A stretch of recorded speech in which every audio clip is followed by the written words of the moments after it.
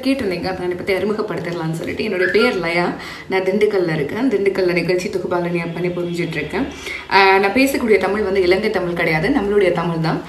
இதுக்கு முன்னாடி வைரமுத்து சாருடைய தமிழ் பேசும்போது நிறைய பேருக்கு ஒரு குழப்பம் ஏற்பட்டிருக்கும். அது வந்துட்டு இலங்கை தமிழாக இருக்குமோ சொல்லிட்டு இல்லை. இன்னும் கிராமப்புறங்கள் வந்துட்டு இந்த தமிழ் தான் நடைமுறையில் இருக்குது அண்ட் என்னுடைய வந்துட்டு தாய்மொழி தெலுங்கு. இருந்தாலும் தமிழ் மொழி மீதான என்னுடைய ஈடுபாடுங்கிறது தமிழ் பற்றிய கவிதைகள் அதிகமாக பேசிகிட்டு இருக்கேன் ஹேர் பற்றி நிறைய பேர் விமர்சனம் பண்ணியிருந்தீங்க. ஏன் தமிழ் பொண்ணா தமிழ் பொண்ணுனா தமிழ் பொண்ணு மாடி முடிவு வச்சுக்கணும் அப்படின்னு சொல்லிட்டு. ஆக்சுவலாக நான் என்னுடைய ஹேரை வந்துட்டு ஹெச்ஏவ் பண்ணியிருக்கேங்க கேன்சர் அவேர்னஸ்க்காக இன்னும் கொஞ்சம் நாளில் ஹேர் க்ரோத் ஆகிடும் அப்புறம் முழுமையான தமிழ் பொண்ணாக மாறிடுவேன். ஒருத்தவங்களுடைய பின்னாடி இருக்கக்கூடிய விஷயங்கள் தெரியாமல் அவங்கள பற்றி விமர்சனம் பண்ணுறதுங்கிறது ரொம்ப தவறான ஒரு விஷயம் நான் நினைக்கிறேன். உங்களுக்கும் அது புரிஞ்சதுன்னா கண்டிப்பாக திருத்துப்பீங்க அப்படிங்கிற மாற்றுத்திறனாளிகள். நம்மால் முடியவில்லை என்றாலும் முயற்சி செய்யும் அவர்களை இழிவுபடுத்தாமல் இருந்தாலே போதும். தூணாய் நாம் நின்றாலே கோபுரம் கட்டுவார்கள் அவர்கள் ஆனால் நாம் துரும்பாய் கூட நிற்பதில்லையே. கைகள் இல்லாதவனிடம் ஓவியம் வரைய கால்கள் போதும் என்று சொல்லிப்பார் அவன் விமானத்தை ஓட்ட முயற்சிப்பான்.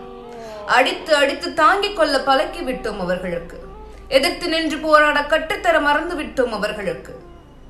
கல்யாண சந்தையில் கடைசியாய் நிற்கும் அவர்களில் பலர் நம்மை விட திறமைசாலிகள். இருட்டில் நமக்கும் கண் தெரிவதில்லை. வயதானால் நமது நடையும் தளர்ந்து போகும். பேசும் வாயும் அடைத்து போகும். நம் வாழ்விலும் ஊனம் என்பது உண்டு என்பதை உணர வேண்டும். இறைவனை பழிப்பது பாவம் என்றால் ஆயிரம் முறை பழிக்கலாம் இவர்களை இப்படி படைத்ததற்கு. நண்பா ஊனம் என்பது உன் உடலுக்கு மட்டும்தான் உன் உழைப்பிற்கு இல்லை. கீழே விழுந்தாலும் எழுந்து நின்று முயற்சி செய். தெய்வத்தால் ஆகாதென முயற்சி தம்மை வருத்த குளிதரும். விழிப்போடு இருங்கள் தோழிகளே. கேட்பாரற்ற தனிமை. கட்டவிழ்க்கப்பட்ட சுதந்திரம். எல்லை மீறும் வயது தூண்டிவிடும் காட்சிகள் ஆபாச பேச்சுக்கள் பலவீனம் அறிந்து வலைவீச்சு இணையதளத்தில் விழிப்புடன் இருங்கள் தோழிகளே. தேடி வரும் உதவிகள் திடீர் பதவி உயர்வுகள் விருந்திற்கான அழைப்புகள் குடும்பத்தாரின்றி உபசரிப்புகள் அதிகாரம் நிறைந்த வலைவீச்சு சிக்கினால் வேலையின் பெயரை சொல்லி சீரழிப்பு. குடும்ப சூழ்நிலை சொல்லி வேலை கேட்காதீர்கள் அலுவலகத்தில் விழிப்புடன் இருங்கள் தோழிகளே. அழகியல் வார்த்தைகள் ஆபாச பேச்சுக்கள் இலக்கை மறந்த இன்பங்கள் அவசர முடிவுகள் போலியான அடையாளங்கள் நட்பின் பேரில் சீரழிப்புகள் சாட்சிகளோடு சில மிரட்டல்கள் போராட துணிவின்றி பல மரணங்கள். பலம் பெற எண்ணினால் பலவீனம் பகிராதிருங்கள். அதலால் இனி ஒரு இனி ஒரு விதிசை ஓட்டுநர்கள் கலர் கலராய் உடைகள் அணிந்து தெரியும் உலகில் காக்கி சத்தையை விரும்பி அணியும் நண்பன் ஓட்டுநர்.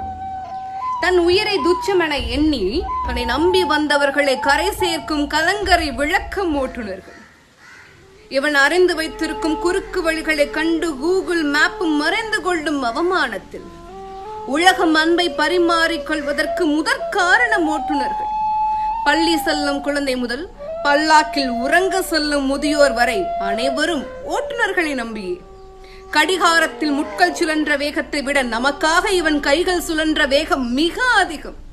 மிதித்த பாதங்களை அகற்ற முடியாமல் வைத்த கைகளை எடுக்க முடியாமல் இரவு முழுவதும் விழித்திருந்து ஒவ்வொரு நொடியிலும் கவனத்திலும் கவனமாக வாகனம் ஓட்டும் வாகனம் ஓட்டிகளே உமது பொறுமைக்கு நாங்கள் தலைவன். மூலையில் கிடக்கும் வாலிபனை தினம் முதுகிலா வேலையை தேடுகிறாய். பாலை வனந்தான் வாழ்க்கை என வெறும் பல்லவி எதற்கு பாடுகின்றாய்? வெறும் கை என்பது மூடத்தனம். உன் விரல்கள் பத்தும் மூழதனம். கருங்கள் பாறையும் நொறுங்கி விழும். உன் கைகளில் பூமி சுழன்று வரும். கட்டை விரலை விடவும் இமயம் குட்டை என்பதை எடுத்துச் சொல். உன் சுட்டு விரலின் நகமாய் வானம் சுருங்கியதென்று முழங்கிச் சொல். தோள்கள் உனது தொழிற்சாலை. நீ தொடும் இடமெல்லாம் மலர்ச்சோலை. தோல்விகள் ஏதும் உனக்கில்லை. இனி தொடுவானந்தான் உன் எல்லை. காவலர்கள் நாடு முழுவதும் லஞ்சம் உருண்டோடினாலும் தனி இருவரின் சண்டை பொதுக்கலவரமாக மாறியிருந்தாலும் முக்கிய பிரமுகர் வருகையாய் இருந்தாலும் போராட்டம் ஆர்ப்பாட்டம் இன்னும் என்னென்ன நடந்தாலும் பழி யார் மீது இருந்தாலும் பாரம் இவர்களது தலையின் மீது இவர்கள்தான் காவலர்கள். கையில் லத்தியோடும் தோளில் நட்சத்திரத்தோடும் நெஞ்சில் உறுதியோடும் பணியில் சட்டத்தோடும் ஒரு சிறிய வட்டத்தில் நகர்கிறது இவர்களது வாழ்க்கை. சம்பள உயர்வு கேட்டு போராடும் ஆர்ப்பாட்டங்களுக்கு காவலாய் நிற்கும் இவர்களது சம்பளம் உயர கோரிக்கை வைக்க சங்கங்கள் கூட இல்லை இவர்களுக்கு. உண்மையாய் உழைக்கும் காவலனுக்கு நாம் என்ன செய்வோம்? உயிருடன் இருந்தால் இகழ்வோம் பணியில் இருந்தால் அவன் வேலையை அவன் வாரிசுக்கு தருவோம் அவ்வளவுதானே. உண்மையில் காவலனின் அருமை புரிய வேண்டுமா? ஒரு நாள் ஒரே ஒரு நாள் இவன் உதவியின்றி பேரணியோ பொதுக்கூட்டமோ நடத்திவிடுங்கள் பார்க்கலாம். அப்போது தெரியும் காவலர்கள் என்பவர்கள் யார் என்று இளைஞர்கள்? இளமை இருக்கிறது அது அருவி மாதிரி. ஆனால் இப்போது அந்த அருவி கூட ஸ்லோ மோஷனில் வெல்வதாக சொல்லப்படுகின்றது. புலிகள் நகம் வெட்டி கொண்டு விட்டன. நகங்களை பயன்படுத்தாத பல புலிகளுக்கு விரல்கள் இருப்பதே மறந்துவிட்டது. சிறுமை கண்டு பொங்கும் சிந்தை இருக்கிறது அது இளமையின் கம்பீரமான அடையாளம். ஆனால் இங்கே பழகி போன சிறுமைகளை கண்டு விலகி போகும் மனோபாவம் தான் அதிகமாய் வளர்ந்திருப்பதை கண்டு நான் அஞ்சுகின்றேன். புலிகள் பதுங்கலாம். ஆனால் ஒதுங்கலாமா? கண்ணை சுற்றி நடக்கும் சின்ன சின்ன அநீதிகள் அசிங்கமான அத்துமீறல்கள் இவற்றையெல்லாம் காணும்போது அந்த மிருகத்தின் பிடரை பிடித்து இழுக்க வேண்டியவன் இளைஞன். ஆனால் இவற்றையெல்லாம் காணும் போதோ என்னவோ தன் கண்களை ஏனோ முதுகில் வைத்துக் கொள்கிறார்கள். இந்த இளைஞர்கள் இளமையின் அச்சுப்பிழைகள் இயேசு பெருமான் கூட அழகாக சொன்னார் ஒரு கண்ணத்தில் அறிந்தால் மறு கண்ணத்தை காட்டு என்று. மூன்றாவது முறை அறிந்தால் முதுகை காட்டு என்று சொல்லவில்லை. அப்பா தன்மானம் உள்ளவன் பிறர் கால் பிடிக்க பணிவதில்லை.